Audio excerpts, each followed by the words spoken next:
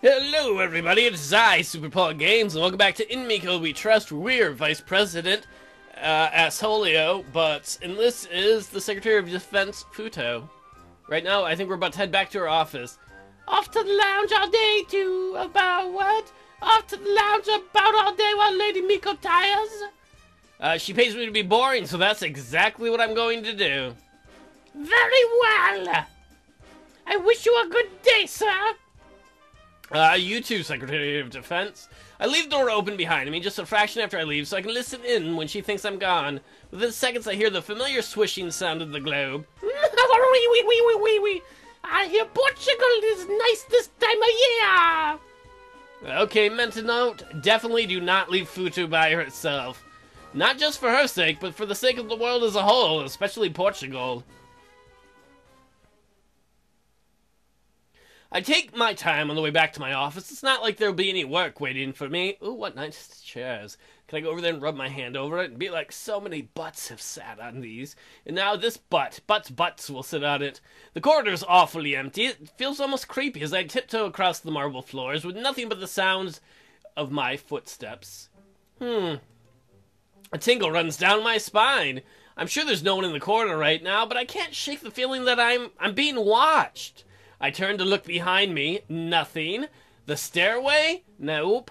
The chandelier? No, that's ridiculous. Man, I think I need to take a nap. All this pressure, it's getting to me. Uh, wait, wait, what? What? Something sneaks up behind me and my vision goes black. I gasp, ready to cry out in panic until a voice tickles at my ear. Guess who? Damn it, I should have guessed. This isn't funny. You almost gave me a heart attack there. Uh, who almost gave you a heart attack? Come on, kid, play along for me. I feel something fur. Oh, I feel something soft and furry rub against my thigh. Oh, I'm getting a hand job from a bear. No claws, please. I don't have any choice in the matter, do I? Oh. Damn it. Molesting bat? This is not appropriate. Uh, let go, Mamazoo. I don't know how to pronounce that. Very good. Uh, ten points for you. For Gryffindor. The hand blocking my eyes moves away. It's a few seconds before my vision comes back into focus. When it does, oh, there's a woman standing in front of me with an unassailable cheer and aura of mischief. A large leaf sits on her head in the place of a hat, and a bushy raccoon tail swishes around behind her. That's huge. Uh, once this would have surprised me, but it's amazing what you can get used to with time. Ah, uh, you're catching on now, kid. Uh, you almost saw me before I could jump you today. What? If I manage to spot you next time, will you stop bothering me? Uh, of course not. That means I'll have to try harder. Thought so. Worth a try, at least. This is, uh, Mamazu Futasuwa. I can't pronounce any of these names. She's currently the director of the Central Intelligence Agency. As you've probably guessed by now, she's not exactly human. Somebody fucked a rack. She's a Tanuki, a shape-shifting trickster spirit from the same region as Miko. Of course, she only shows her true colors in front of me. To everyone else, she's a stern but efficient supervisor who keeps the wheels of the country turning. Though there are rumors, she's always also something of a loan shark. Apparently, we don't want to borrow money from her. I don't want my kneecaps busted. So I uh, heard you're doing Miko's babysitting for her. That's not. Okay, well, maybe that is the right uh, phrase to use. What was she thinking, putting Fudo in charge of defense? Well, the girl was going to want to burn something down anyway. May as well let her do it in a way that we can keep an eye on, right? Oh, not to start a war. I nod. That doesn't make a twisted sort of sense, actually. The thought of Fudo acting of her own volition is enough to spook me. Whoa. Light it if you got it. I don't think we're supposed to be smoking pot in the White House. Uh, but enough about the saint and her sidekick. Let's get high, motherfucker. Wait, no, why don't we talk about you, assholeo? Me, uh, what is there to talk about? Uh, still playing dumb, huh? Not sure who you'd think we're you're dealing with, but I'm not gonna fall for your little masquerade. She's still trying to push this? I thought three months would have been long enough for her to give it up on me. For the last time, Mammy, I don't have any deep, deep dark secrets. I mean, I, I used to wet the bed when I was a kid, but that's it. Really? That is interesting.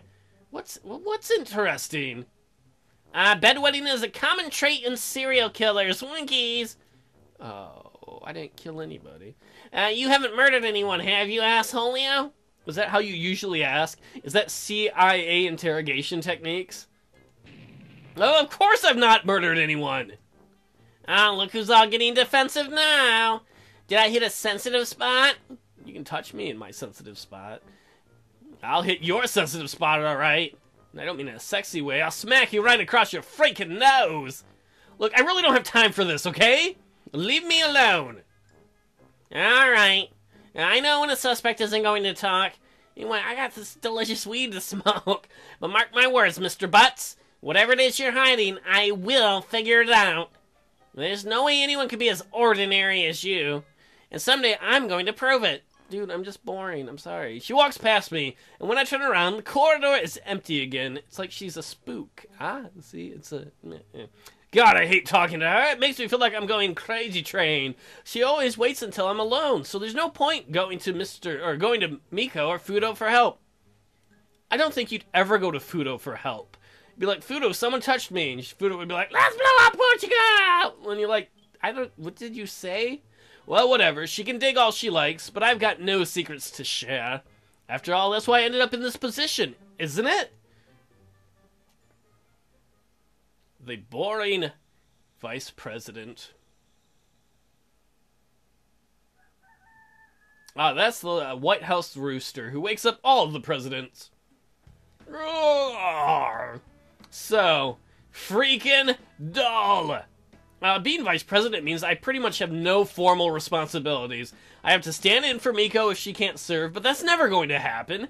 I'm also meant to listen in on Senate meetings, but that's dull as dishwater. Don't even get to vote unless the score is tied, so there's no point in going.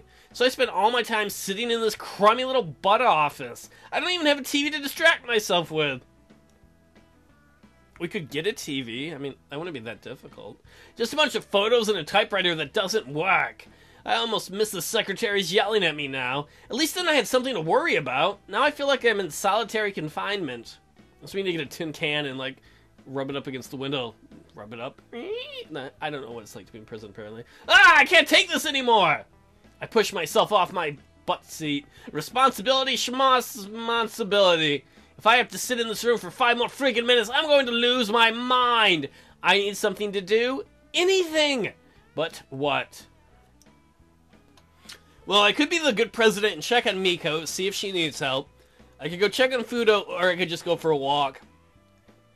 I think I'm gonna go check on the crazy Secretary of Defense. I wonder how Fudo's doing. Probably a good idea to check up on her. I'm sure she's doing something relatively harmless. She's probably giving arms to people in some country. Treason! Treachery! Debauchery! I'll have none of it! Well, can I, I'll have a little debauchery, just a little bit, please. I stand extremely corrected. Fudo's arms are flailing about, running around the war room at full speed. On one hand, I should really find out what's going on. On the other hand, I can already tell this is going to be trouble. I'll find them, I swear! I'll find all the miscreants responsible for this and send them to the firing squad! Then they'll throw their bodies in a bonfire to be safe and, um... Fudo, What's wrong? Ah, Sir Butts! At last an ally I can rely on! Fudo runs up to me and grabs at my collar. She's so short that she has to stretch her arm all the way up to get a decent grip. Sir Butts, I'm the target of a mutiny! We're not at sea. The secretaries and officers have been bragging to each other about how they'll throw me about and punch me out of the office. Well, you are kind of small. But they what? It's true, I swear!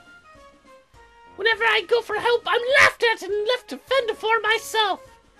I can't trouble Lady Mickey, Miko with this. You're my only hope. Obi-Wan Kenobi, you're my only hope. I've got no idea what she's talking about, but she doesn't seem like she's making it up. How could she be so um, worrisome that she might invade Portugal, but she can't deal with her own secretaries? You're hundreds of years old. Haven't you learned how to deal with people yet? I better find out what's going on. Alright, Fudo, exactly what did they say to you? Well, they weren't talking to me specifically. They just discussed kicking me around as if it were some sort of sport. They called it football, I think. Alright, that's kind of clever. That's kind of clever, I gotta admit. Uh... S, but are you alright? Yeah, I'm trying really hard not to laugh right now. I know exactly what she's misinterpreted, but if I tell her, it'll ruin the joke. What should I do? Now, let's tell her the truth. It's never fun to be left in the dark and be the butt of a joke. And we should know, we're Mr. Butts. Fudo, it's all misunderstanding. No one wants to hurt you. Eh? They're not talking about futo ball. It's called football. As in a sport you play with your foot and sometimes your hands and you tackle big men. There's a lot of violence. You'd like it. So, when they say they're going to punt, they were talking about the game, not you. It's alright, Futo. They're probably watching the game. Oh. Ah, what a relief! I was frightened the whole world was turning against me! Not yet. She smiles so innocently, totally unaware how silly of a mistake she just made. I guess English isn't her first language, but still. Uh, anyway, are you going to be alright now? I wish I would have given her a Henry Kissinger type voice. Yes, I think so. Thank you for informing me, Sir Butts. The others seem to enjoy teasing me, so I appreciate you being honest. Oh, I've made a friend. Well, I just figured you could use the help. Honestly, I was worried what would happen if I left her to herself, but I probably shouldn't say that. In that case, I'll show myself out. Have a good day, okay? I will, thank you. Me, this is the way out. Thank you, me. You're a delight, me. You're kind of sexy. Get your hand away from there, me! I feel proud of myself as I leave the war room. My good deed of the day fulfilled. Futo should be relatively calm now. Well, that's a bit of an embarrassing, I mean, uh, embarrassing. I'll have to cancel Operation Burn the World then. Whoa, we just saved the world. What? It's a good thing we went and checked on her. The president should thank us. And then she should spank us. rooster! I'm a giant cock! Don't say anything. Oh man! Oh man! Oh man! I stomp back and forth across the length of the press room. I'm not very good when it comes to these situations, but at least I'm not breathing into a paper bag anymore. Well, if you don't want to do this, just rip up the floor and turn it back into a pool room. Still, what could be so uh, important to need a speech now? A few days ago, we received intelligence about potential terrorist activity in Washington. There have been sightings of a suspicious figure shuffling around the White House, but they've evaded capture so far. Miko's, it's probably John Kerry trying to get back in.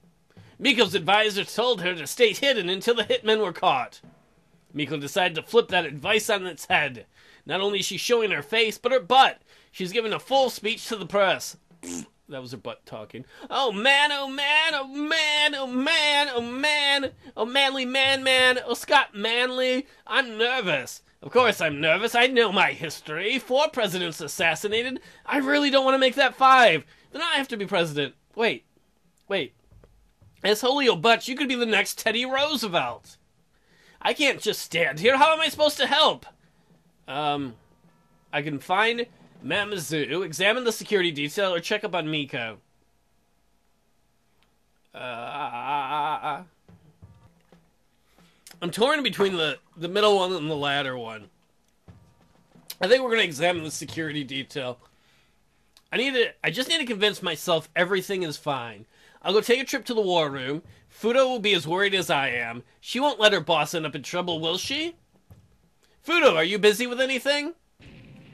Try to assassinate my president, will you? Good sir, I will make you regret every decision you have ever made in your miserable little life. I freeze in place. Fudo is currently struggling under the weight of about half a dozen guns strapped to her waist. Oh, Fudo. Secretary of Defense doesn't mean you have to go shoot people, it means you order other people to shoot people. I can see a shotgun, a SMG, and is that a grenade launcher? Just you wait! I'll fill you so full of holes you'll be able to fuck you from any direction! The coroner will mistake you for a sponge! That'll teach you for challenging the crown prince! Uh, Fudo, what are you doing? Wait, Miko's the guy? Oh, man. Isn't it obvious, Sir Butts? I'm preparing myself for the ass-ass-in! I think it's assassin. That too! You're the Secretary of Defense, not a soldier. Don't you have a security team to keep the boss safe? We spend billions and billions of dollars every year. You should have some soldiers. The security team? Cowards, the lot of them! Why, they even refused my orders when I told them to plant mines under the audience seats! Alright, Fudo, that might endanger the president when the press corps sits down and explodes and shrapnel shoots everywhere. Not to mention that's going to be very bad press. You know, but that's another problem, but we'll deal with it one step at a time. I can't let Fudo go out in front of the press like this, it'll be a PR disaster. Well, what exactly should I do? I could take the guns away. That'd be the logical thing. Or I could share the load? America calls to me to take my right to bear motherfucking arms. I can't just tell her to stop, but I can't let her walk, let her walk out like that. Looks like it's time for an American compromise. We're gonna get a lot of votes in Texas when we run for re-election. Want some help then? America, you look like you're struggling with the weight. Really? Well, perhaps the heavy weaponry is beyond some of someone of my stature. If you don't mind. She leaves me with all the unconcealable items the grenade launcher, the shotgun, all of those. By the end, she's down to a handgun and the SMG, both hidden under her normal dress. I'm going to have to find a good place to hide these, without Fudo knowing, obviously. You have my thanks, good sir! Now, now I can protect Lady Miko without fear of encumberment. Cucumberment? What's that? She smiles brightly, twirling the handgun around. Oh god, please let the safety be on. When it comes down to it, her desires are pretty simple. To murder people? You you really love your boss, don't you? Of course, I wouldn't have allied with her for centuries if I did not admire her. Don't you all phrase it that way? I know I do. When I talk about my friends, I'm like, this is why I allied with this person. I nod in agreement. I definitely made the right call in not disarming her entirely, though I'm still a little anxious about how she's playing with that thing. Oh, you can play with my thing, Fudo. Just don't rip it off. Now let us go into battle! I will shoot the assassin down before he has time to blink! Wink, blink, stink. Words that rhyme with ink. What do you mean you already caught him? By the time we get to the press room, one of Mamazu's goons passes on the good news. They've grabbed the shooter on the way in, and he's already been locked up. Well, then we did a great thing. They didn't need us to stop the shooter, but we did stop a PR, and by that I mean pubic relations disaster. Who wants to have some pubic relations? Ah, sometimes you say things and you regret it instantly. Miko's speech is going to go unchallenged. Normally that would be a good thing, but... Ah, I just wanted to help Lady Miko. Poor girl, she looks like she's ready to cry. She really wanted to be the hero of the day, didn't she? Don't worry, Fudo. I'll tell the boss just how helpful you've been today. Really? It's a promise. Thank you, Sabata. Thank you. Just like that, the childish grin is back on her face. She can't stop smiling. I don't want to anymore. I can't stop it though. As she watches the speech, uh, eyes never moving away from Miko. Ooh, she's got a crush on the president. She's a weird one to be sure. But for some reason, I feel like I want to see more of her. Are we getting a crush on the Secretary of Defense? I've never played a game before where you could have a crush on the Secretary of Defense.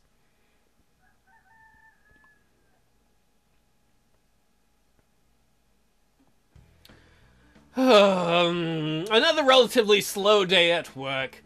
Might as well jerk it under the desk for a while. Oh, JFK! JFK! Moon launch! I managed to get a TV installed, so at least I've got something to distract myself with. Still, I feel like there's something I'm forgetting today. Something really important. Maybe there's a meeting I missed? Uh, who am I kidding? I never have any meetings to attend. I continue to stroll around my office. There's something I had to do. I, I, I just know it. But what could it be?